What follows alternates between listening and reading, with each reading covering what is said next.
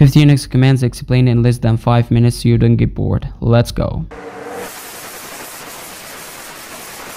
whoami prints the current logged in username. ID displays the user and group identification information. CD changes the current directory to the specified location. PWD prints the path of the current working directory. ls lists the files and directories in the current location, commonly used with the dash LA flags to print hidden files along with their permissions. mkdir creates a new directory. Rmdir removes an empty directory. Touch creates a new file or updates the timestamp of an existing file. Echo prints the given text or variable to the console. Cat displays the contents of a file to the console. Head displays the beginning lines of a file. Tail displays the ending lines of a file. cp copies files or directories, commonly used with the dash R flag to recursively copy all files. MV moves or renames files or directories. RM deletes files or directories, commonly used with the dash R flag to recursively delete all files. Grep searches for a specific pattern or expression in files. Find searches for files and directories based on specified criteria such as a type or name. Zip compresses files into a zip archive. Unzip extracts files from a zip archive.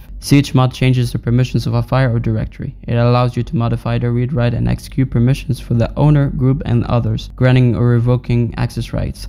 chown changes the ownership of files or directories. It allows you to transfer ownership to a specific user or group, granting them control over the file or directory. Ping sends ICMP-based network packets to a specific specific IP address to check connectivity. It measures the time it takes for the packets to reach the destination and return, helping identify network connectivity issues. Ifconfig displays network interface configuration information. It provides details such as IP address, subnet mask, and network interfaces on Unix-like systems. Man displays the manual pages or documentation for a command or program. It provides detailed information, usage examples, and explanations of command options and parameters. PS lists the currently running processes. pidof retrieves the process ID of a running program. Kill terminates a process by sending a terminate signal. It allows you to stop a running process by specifying its process ID. pkill sends a signal to terminate processes based on their name. It allows you to terminate multiple processes at once by specifying their names or patterns. Curl transfers data from or to a server using various network protocols. It supports various protocols like HTTP, FTP, and SMTP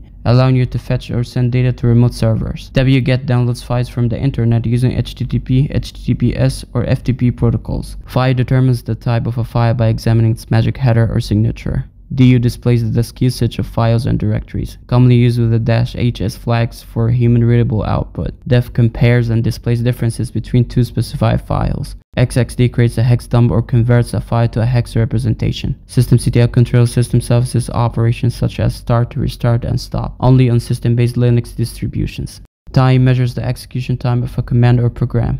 Sleep suspends the execution of a script or command for a specific duration. Base64 encodes or decodes data in Base64 format. Tree displays a directory structure as a tree diagram. Cut extracts specific sections or columns from lines of a file or input. Locate locates files based on their names or patterns within the system without having to search the file system directly. TR translates or deletes characters in a file or input stream. xargs executes multiple commands at once using standard input or arguments. Watch repeatedly executes a command and displays its output in real time. Bash spawns a new bash shell or executes a specified bash script. MD5 sum calculates and displays the MD5 checksum of a file. SHA-1 sum calculates and displays the SHA-1 checksum of a file. SHA-256 sum calculates and displays the SHA-256 checksum of a file. Nano, a simple text editor for Unix-like systems. Exit terminates the current shell session or script execution. Subscribe for part 2.